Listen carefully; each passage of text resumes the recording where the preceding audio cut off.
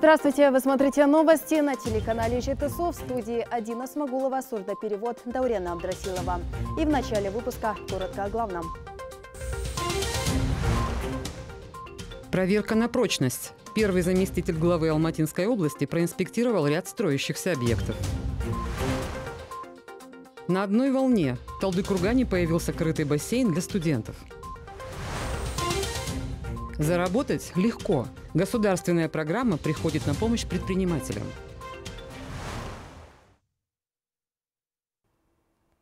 Сегодня первый заместитель Акима Алматинской области Лизат Турлашев провел рейд по строительным объектам Искельдинского района и моногорода Атикили, где в ходе инспектирования ознакомился с качеством проведения строительства многоквартирных домов и газификации региона. Также указал на недостатки и сделал ряд замечаний ответственным лицам на этих объектах.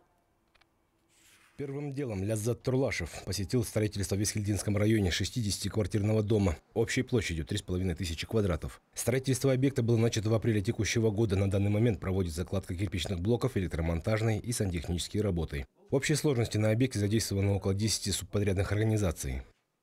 Также первый заместитель руководителя региона ознакомился с текущим строительством нового отопительного комплекса на газомазутном топливе. Работы здесь начались в октябре 2020 года. Завершение планируется в октябре этого года. На сегодня в районном центре в 212 домов уже протянуты газовые коммуникации. 12 из них полностью подключены и ждут запуска центрального газоснабжения.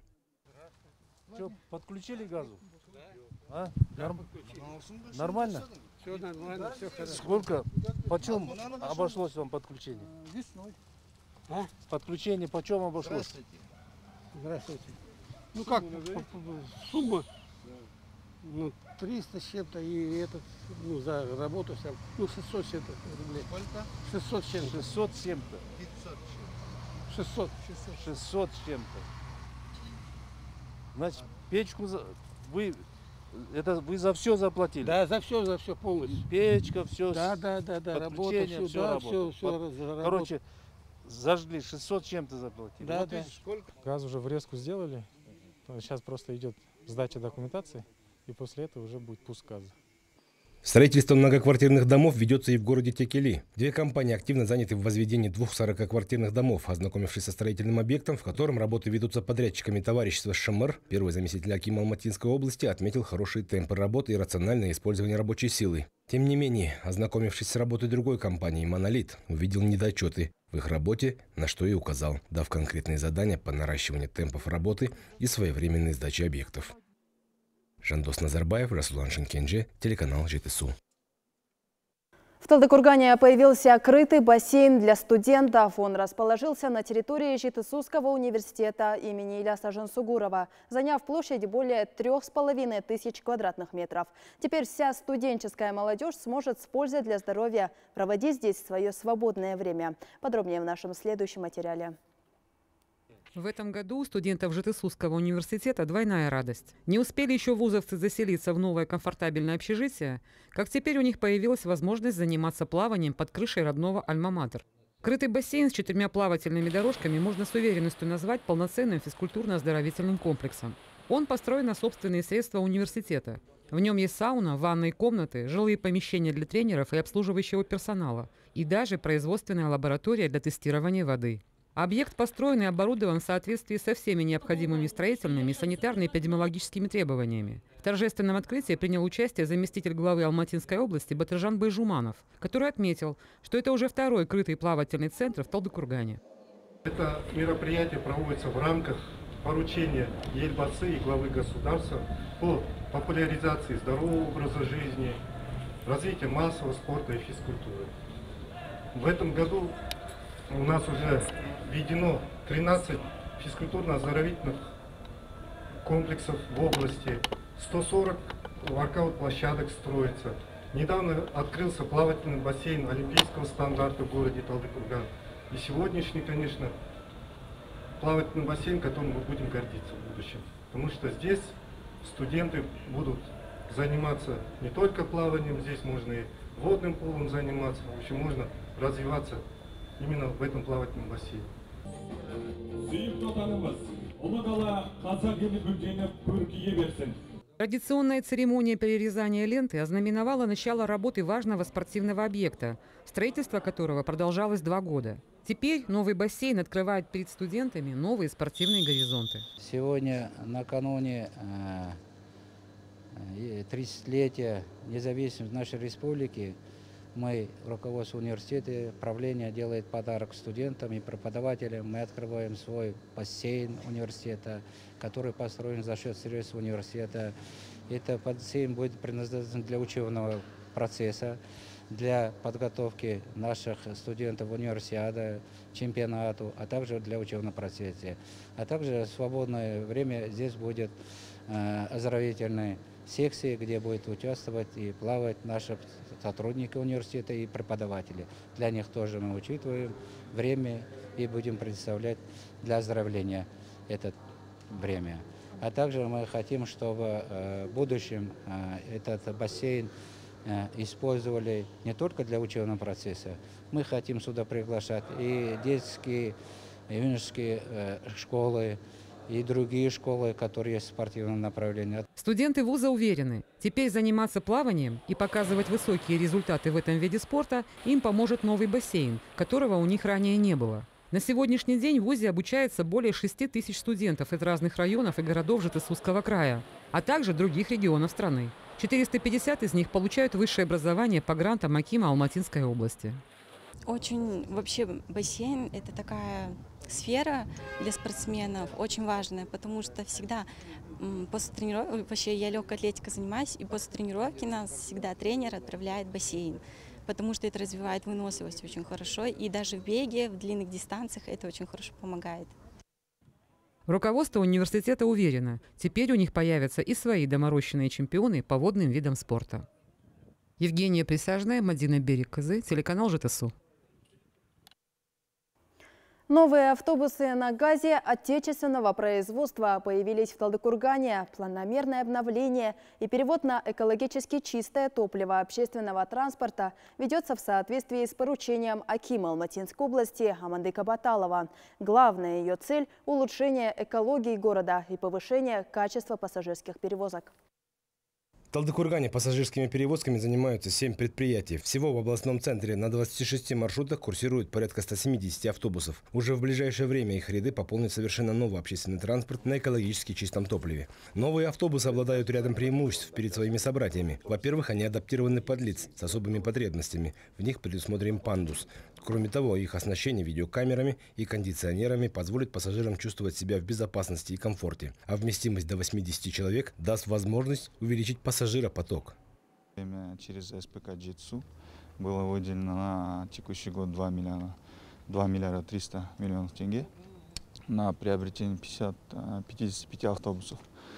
На сегодняшний день пришло 32 автобуса, из них 28 э, марки «Ютонг», 4 автобуса «ПАС». На сегодняшний день завершается э, АГНКС, автозаправочная станция на Метане. Ну, я думаю, после этого, как э, полностью завершится данная автозаправочная станция, данные автобусы уже будут ходить по городу. Отметим, что строительство первой в областном центре автомобильной газонаполнительной компрессорной станции уже подходит к концу. Реализация данного проекта осуществляется с помощью частных инвестиций. Сейчас на объекте проводятся заключительные коммуникационные работы. Планируется, что функционировать в полную силу новая АГНКС начнет уже в конце текущего месяца. Около 1 миллиарда тенге инвестиций было привлечено на реализацию данного проекта. В целом, использование такого вида газа, как метан, является самым безопасным. Здесь расположены 8 колонок. Данная станция может обслужить не менее 200 единиц в сутки. Напомним, что из приобретенных 55 автобусов 32 уже распределены по компаниям-перевозчикам. Оставшиеся 23 единицы нового общественного транспорта прибудут уже к концу октября. Жандос Назарбаев, Расулан Шенкенче, телеканал ЖТСУ.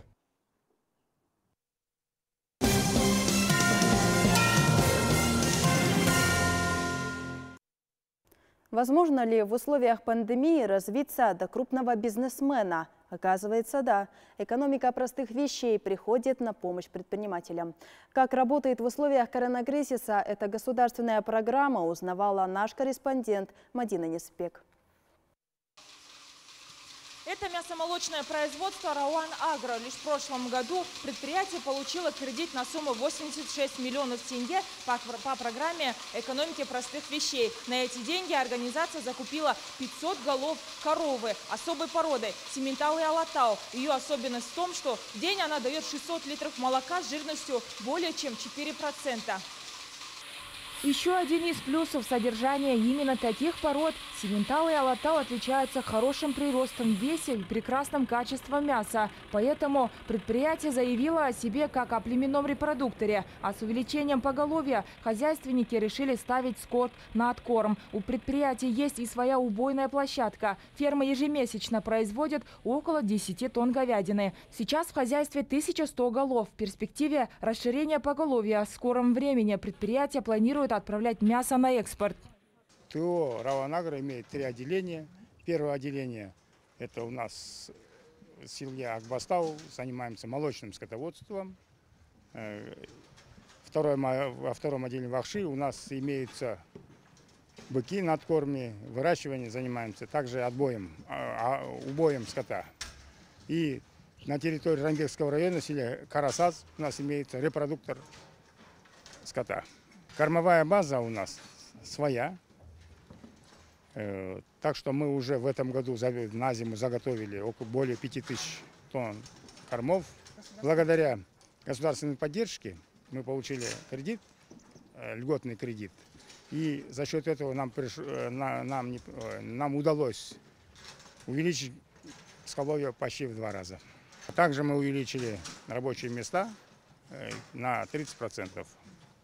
Программа «Экономика простых вещей» помогает не только увеличить рабочие места, но и сохранить их в период пандемии. На Талакурганском аккумуляторном заводе Хайнар АКБ работает более 1200 человек. Благодаря государственной поддержке предприятие смогло выстоять перед коронакризисом и нарастить возможности, увеличив объемы производства. Теперь компания ежегодно будет выпускать более 3 миллионов аккумуляторов, что выше на 30% прошлогоднего показателя. Финансирование позволило улучшить качество производимого товара и обеспечить потребность внутреннего рынка на 80% продукции. А остальная продукция, вся, что будет идти в рост, она будет ориентирована на экспорт. Поэтому ожидается только увеличение экспорта. Благодаря экономике простых вещей мы смогли больше изучить рынок э, аккумуляторной промышленности и выйти на новые рынки, такие как Объединенные Арабские Эмираты и страны Персидского залива. В настоящее время наша компания в рамках э, программы «Экономика простых вещей» освоила больше двух миллиардов оборотных средств на оборотные нужды и на приобретение оборудования для своего производства. Выделенные по программе средства были потрачены на переоснащение. Новое оборудование закупили за рубежом. Высокие технологии позволили снизить расходы на производство, а значит и цены, по которым производится отечественный товар, самые привлекательные на внутреннем и зарубежном рынке. При этом качество аккумуляторов остается на самом высоком уровне. Отметим, что государственную программу «Экономика простых вещей» продлили до 2022 года по поручению главы республики Касым Жумарова. Марта Токаева, поскольку государственный проект оказал свою высокую эффективность. Программа льготного кредитования экономики простых вещей была запущена в Казахстане в 2019 году. Для осуществления мониторинга и сопровождения реализации проектов на площадке Атамикен был создан проектный офис, куда были вовлечены Управление предпринимательства Алматинской области, Палата предпринимателей, Фонд Дому, Агрокредитная корпорация и представители банка второго уровня. 2019 года в Алматинской области по программе экономики простых вещей было одобрено 199 проектов э, на общую сумму 58,4 миллиарда тенге. Э, на данный момент 16 э, проектов находится на рассмотрении и по 38 проектам ведется сбор документов и разрабатываются бизнес-планы. Основная цель государственной программы «Экономика простых вещей» – это импортозамещение. Если за каждым товаром с пометкой «Сделано в Казахстане» будет стоять качество и доступная цена, тогда каждый из покупателей будет голосовать за отечественную продукцию кошельком. Мадина Неспек, Ержан Дюсен, Аблай Куттукпай, телеканал «Житсу». Знать государственный язык – долг каждого. В Алматинской области КГУ «Кугамдах Келесом» ведет работу в этом направлении. При областном доме дружбы вновь открыты курсы казахского языка. О том, кто и как может стать слушателем курсов, узнавала наша съемочная группа.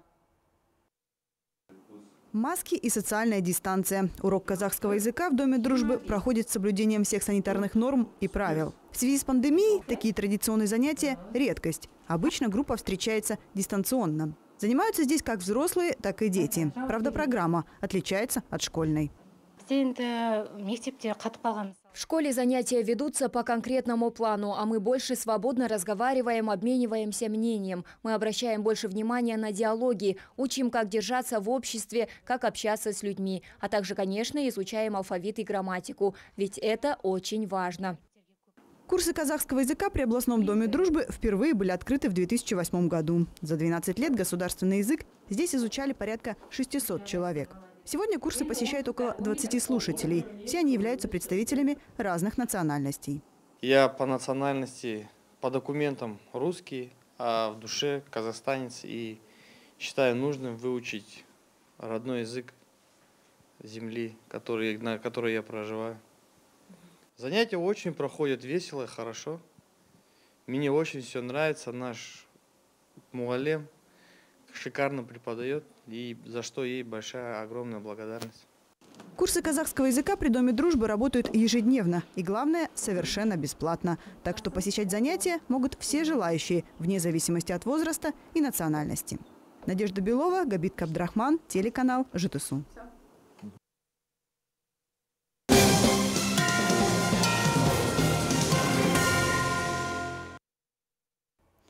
Аукционный дом «Крестес» выставит на продажу в Женеве два браслета с бриллиантами. Они принадлежали королеве Франции Марии Антуанетте, супруге Людовика XVI.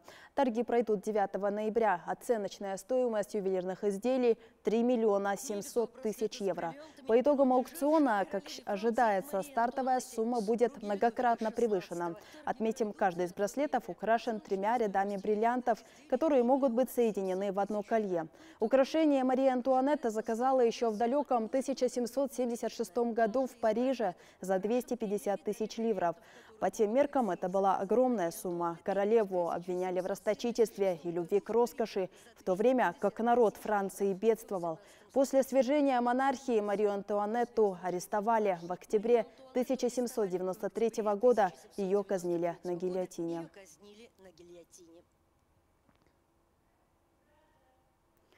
В Сальвадоре, начиная со среды, биткоин признан официальным платежным средством. Это вызвало возмущение у многих местных жителей. При этом днем ранее стоимость биткоина, достигавшая 52 тысяч долларов, резко упала, опустившись ниже 43 тысяч. Многочисленные технические сбои, сопровождавшие нововведение, усилили недовольство людей. Многие считают, что государство стало подопытным кроликом, и этот монетарный эксперимент ударит по самым бедным и незащищенным. В связи с этим в стране уже который день не утихают массовые протесты. Другая же категория лиц, в частности граждане с достатком, считают биткоин цифровым золотом и способом отложить деньги на черный день. По расчетам ряда экспертов, стоимость биткоина уже к концу года удвоится и достигнет 100 тысяч долларов, после чего рост продолжится. Подействует ли этот аргумент на сальвадорских фермеров, покажет время. Достигнет 100 тысяч долларов, после чего рост продолжится. Платья из консервных банок и жилеты из пластиковых пробок. В Киншасе прошел фестиваль «Кинакт». На грязных улицах столицы Конго его участники попытались совместить искусство и акцию протеста. Все костюмы импровизированного модного показа созданы из мусора, пустых пачек сигарет, порванных проводов и осколков зеркал. Все для того, чтобы привлечь внимание жителей крупнейшего мегаполиса Центральной Африки к проблемам окружающей среды. По подсчетам аналитиков, 15-миллионное население города производит 9 тысяч тонн мусора каждый день. Из-за отсутствия развитой системы сбора отходов мегаполис буквально превратился в свалку, а из-за проблем с чистой водой в городе нередки случаи холеры.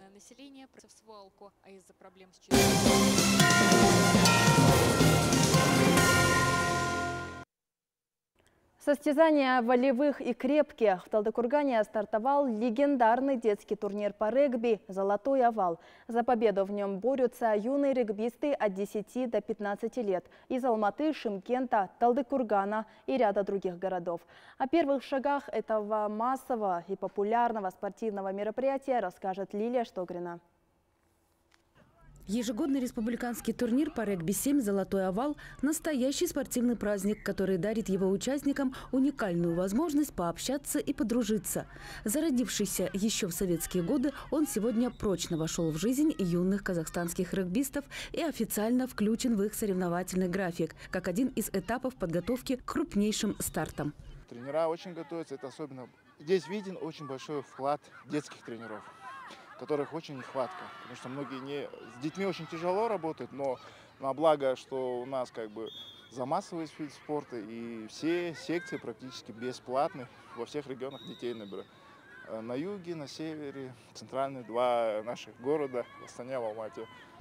Золотой овал, пожалуй, самое массовое и яркое событие в мире казахстанского детского регби. Из-за растущей популярности организаторы изменили его формат проведения. Теперь турнир проводят каждый сезон – весной, летом и осенью. После независимости обретения нашего суверенного Казахстана мы начали проводить золотой овал. Это уже среди молодежи, среди детей. Вот это очень ну, он ежегодно у нас проходит. Одно время мы проводили только туровые системы. Э, потом уже последние 3-4 лет мы начали уже летний, осенний, весенний как бы сезон. И в каждом возрасте по отдельности проводим, потому что это очень большая значимость для каждого игрока, особенно юного регбиста, потому что это для них азарт, интерес, очень борьба. И здесь они уже видят свои сверстники, есть у них желание больше дальше развиваться, играть и перспективы попадать в юношеские, молодежные сборные Казахстана. Два игровых дня, пребывание в Талдыкургане, обмен опытом и эмоциями. Юноши и девушки спортивных клубов города Алматы участвуют в подобных состязаниях ежегодно, а потому стремятся продемонстрировать оригинальный игровой стиль и красоту регби. И это у них неплохо получается. Уже в первом матче предварительного тура им удалось победить соперников из Оскемена с крупным счетом. Я пришел к регби, ну, я вначале занимался футболом, баскетболом, а потом меня папа э, позвал, ну, показал вид спорта регби. И я пошел на регби, потому что регби мне понравился тем, что, он похож на многие виды спорта. Э, баскетбол, футбол и моментами даже на борьбу. Э, на, мы с, э, много раз становились чемпионами, но благо, к этому мы шли очень долго. Труд, трудными тренировками, подготовками. Наряду с алматинцами главными фаворитами состязаний являются воспитанники спортивных школ Алматинской области. Представители этих традиционно сильных школ регби в Казахстане и на этот раз ведут жаркий спор за звание победителя. Кто же завоюет пальму первенства престижного турнира, будет известно завтра. Лилия Штогрина, Габит Кабдрахманов, телеканал ЖТСУ. Воспитанники специализированной спортивной школы Алматинской области по хоккею на траве стали победителями официального чемпионата Республики Казахстан. Первое место они завоевали в упорной борьбе с командами Казалардинской, Жамбылской, Уральской областей и города Алматы. Причем во всех четырех возрастных категориях. Женская сборная Алматинской области стала также обладателем Кубка страны по этому виду спорта. Выносливость, скорость и хорошая техника – основные качества наших игроков. Клуб известен своими громкими победами и на мировом уровне. Республиканские турниры прошли в Талдыкургане на специализированном стадионе по хоккею на траве.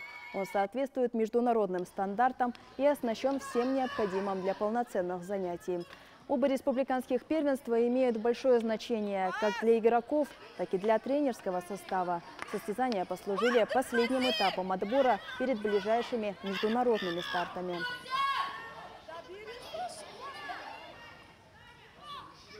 Ерлер мен әйелдер командасы Мужская и женские сборные команды по хоккею на траве завоевали лицензию на участие в чемпионате мира. Он пройдет в Бельгии и соберет под свои знамена сильнейшие клубы планетарного уровня. Костяк как мужской, так и женской команд составляют воспитанники нашей спортивной школы. У наших игроков еще будет время проверить свои силы перед крупными мировыми стартами на ближайших международных стартах. У мужчин это будет международный турнир в России, а у женщин чемпионат Азии среди клубных команд в Бангкоке. Хочу большое спасибо сказать руководству нашей области за всестороннюю поддержку в развитии и популяризации хоккея на траве. На этом у меня все. Всего доброго. До свидания.